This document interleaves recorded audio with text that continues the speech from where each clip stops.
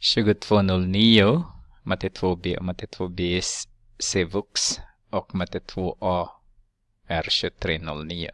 Ekvationen ax upphöjt till 2 minus 20x är lika med 0. Har lösningen 0 och 5. Bestäm värdet på a. Eh, ja, naturligtvis det finns olika sätt att göra det. Antingen ni sätter in 0 där så får ni allt 0 där. Det är ingen fara med 0. Men femman sätter in femman och sen löser ni eh, a. Så vi tar det först, den som jag såg först.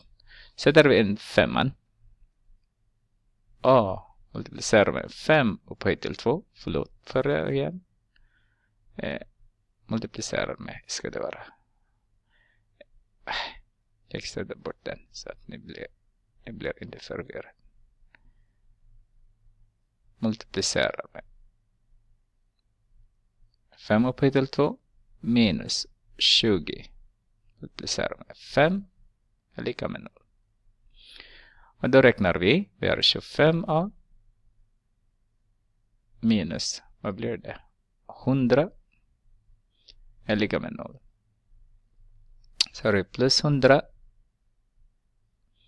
plus 100 där också. Den här är 0, så har vi 25a lika med 100. Vidare 25 så får vi A är lika med 4. Det finns ett annat sätt att göra. Om ni kan bryta ut x där så har ni x multiplicerar med ax minus 20 det är lika med 0. Och då, då, behöver ni inte ha femman mer här. Ni kan använda bara där. Här. Den här andra. Så har vi A multiplicerar med 5 minus 20 är lika med 0. Så ser ni att det är 20 dividerat med 5 sen. Så får ni också A är lika med 4. Ni kan fortsätta den tanken. Eh, men kanske de flesta använder på det här sättet.